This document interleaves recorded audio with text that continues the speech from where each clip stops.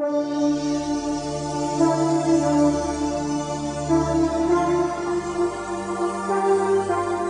my name's Will Raison. I fish for Daiwa Dorking and Drennan Team England. I've just started a new series with Angling Times Advanced, covering the finer issues of match fishing. And this is my guide to pole floats. This is the first float I want to speak about. It's a TD8, which is made for paste fishing. As you can see, it's a very strong, very durable float with a nice long bristle that enables you to detect proper paste bites. It eliminates a lot of liners.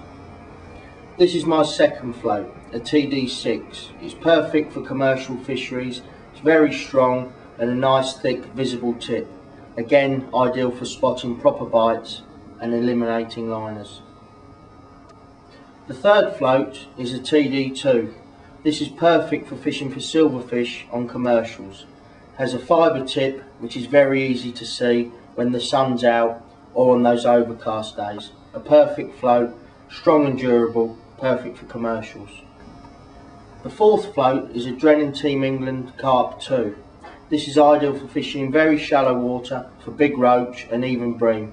Casters and chopworm are an ideal bait to use with this float.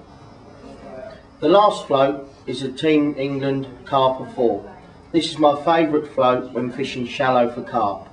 It's very strong, very durable, and it enables you to fish as shallow as 4 to 5 inches. Because of the length of the float, your rig will be in proportion.